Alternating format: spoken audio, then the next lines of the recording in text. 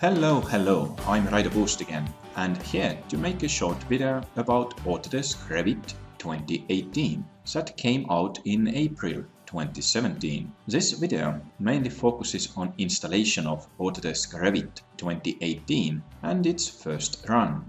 But before you can actually start with an installation, you do need to get those installation files. You can use Autodesk website autodesk.com or Autodesk Manage account if you are already subscribed to Autodesk. I'm going back to autodesk.com and if I use slash and Revit, I can directly go to Autodesk Revit product page from where I can hit free trial and then I can see a link to try Revit for 30 days. As you see, before you can actually download or start an installation, you need to have Autodesk account. But don't worry, you can do that at any time, meaning that you don't have to be a subscribed customer to Autodesk to do that. So you can create Autodesk account and then sign in, as I'm doing right now, using my regular Autodesk account and also password. Then I can select language, I keep English, and I can select in which way I want to download or install my product. There are two main options. First one is a kind of web installation if I hit begin download. But before I do that, I want to point out that you can also download all files first using Download Manager. And this is a recommended way to do it if you want to install a product into multiple machines. So you first download and then start an installation. But if you want to have a kind of quick way, of course, you need to have a good internet connection as well. You can also do a web install. Web install means that you download just a small amount of files at first, then you do selections what you want to install, and during additional installation, all additional files will be also downloaded. In that way, you may reduce the download package size, meaning that you actually don't download things that you don't need to or don't want to install, as simple as that. I use begin download, then I can select country of residence, also I accept terms of license and services, and then I hit continue. I should see that save as dialog appears and I save my first installation file to my desktop, just hitting save. It's just a small file. It is needed to fire up installation. Once it's downloaded, I can find it on my desktop or directly from my browser. So if I minimize my browser window, I can see that file here as well. So I double click and Autodesk installation starts for Autodesk Revit. But before you can see actual screen, some additional files will be downloaded as well. Then I see a setup screen and at this stage you may not see that anything is happening, but actually it is now downloading some additional files and it varies product by product. It may be somewhere 500 megabytes to 1 gigabyte and it doesn't include everything yet. So in this stage actually a kind of base package is downloaded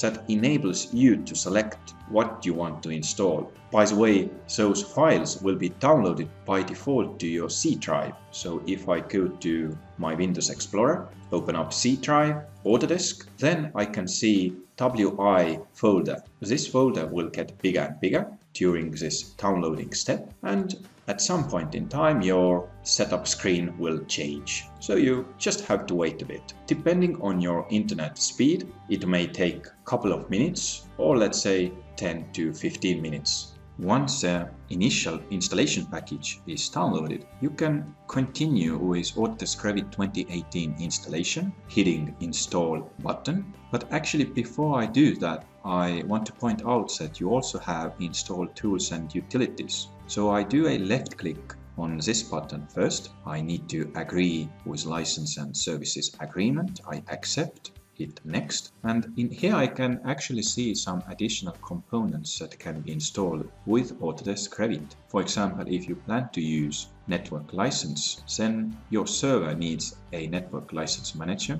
Also, if you want to get some more information how Autodesk software is used, you may also be interested about Autodesk CAD Manager tools. It's also possible to install sharing environment called Revit Server. And also, if you are developer, you can install Revit Software Development Kit. I'm not gonna install any of those components, meaning that I hit back button, back again, and continue with installation. But uh, before I hit on install, I want to point out that down below you have grayed out items like installation help, system requirements and read map. Please do open up those links to get some information what are the minimum requirements from your hardware and software point of view before you actually start an installation. Right now I'm secure enough so I click install I need to read license and services agreement and accept those. I accept and hit next. I may get a notification out of disk space, but mainly it's because there are so many different components selected.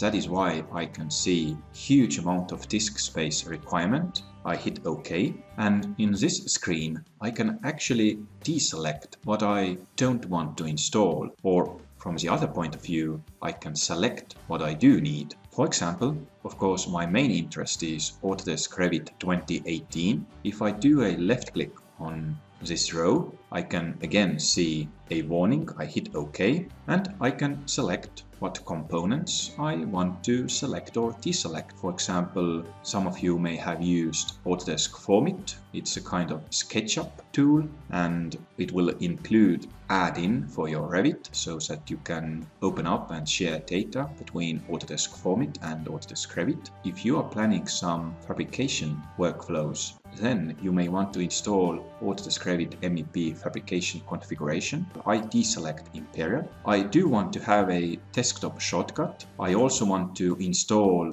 all disciplines, meaning that architectural construction as well MEP, meaning mechanical, electrical and plumbing, as well as structural. If you are sure enough that you don't need all those additional disciplines, let's say you are only working at architectural side, then of course you may deselect those, but um, better to have all because all are included inside the main package and you can later on just reconfigure your user interface so that you don't get lost. I can select project path, I leave it as default, I hit Autodesk Revit 2018 with my left key again, I may get a warning again, I hit OK. Now I'm going to Autodesk Revit content libraries because Autodesk Revit is mainly component based software package, it means that it will need some content libraries. So I hit OK again and uh, now we can see a problem in terms of why I get the warnings that my hard drive may get full. Yeah, Of course it will because each and every content pack is currently selected. So based on my current region or projects or partners with whom I want to collaborate, I select different content packs. I can, for example, do a right click on this English and then deselect everything with a left key. Now I can start to pick only those content packs that I really need to have. And please pay attention to that at any time later on you can install some additional content packs. So don't worry if you don't select something at the first moment. I select for example only US metric, right click other English and again just left click to deselect all those. I will double check that no additional content packs are selected. Of course, if I do need those, I select those. I then scroll down a bit. If I install multiple content packs, I can select which one is a default one. Because I selected only one, I have a one choice here. I also leave each and every path as it is, meaning that I now hit Revit content libraries again with the left key. Now I don't get the warning anymore because my installation requirements has been greatly reduced and altogether I need to have 30 gigabytes of free space. I'm usually also interested about Autodesk Material Library 2018 to be able to see some additional materials with different quality and it leaves me just to check if my installation path is correct. I install to default location, C drive, program files and Autodesk. I can now hit install button and from this point forward my real installation starts. And it's not just about Autodesk Revit 2018 but different components that are also needed will be installed. For example, some Windows components are also installed.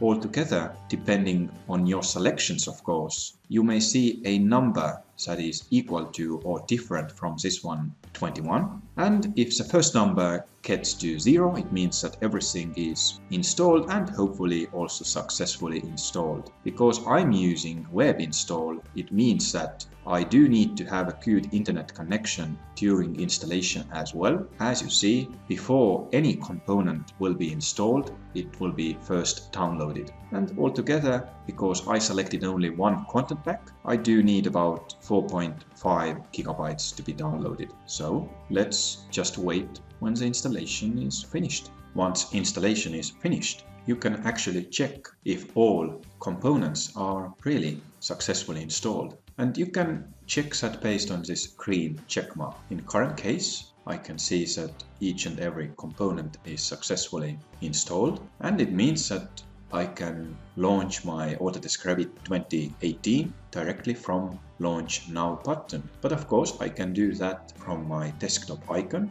In here I also do have Revit 2018. Therefore I simply close this installation window and double click on Revit 2018. So my Autodesk Revit 2018 launches first time. Because I downloaded a trial version, I should see a following screen that also tells me how many days are left of my trial. You are safe to activate your Autodesk Revit license at any time, so it doesn't mean that you have to reinstall Autodesk Revit, but you can simply activate it. Right now, I just close my notification. You can see a default screen of Autodesk Revit 2018 and it pretty much it looks the same as in previous versions, at least in 2017. If I want to start a new project, I can quickly go to my projects area and hit new button. I can then select a template file, for example, depending on my profile or discipline, I can select architecture or structural or mechanical template or maybe construction template. In my case, I pick mechanical template. I want to create a new project and I hit OK. I get a new empty project in where I can start a new design. In Autodesk Revit, you may open several projects at once. I simply use this close button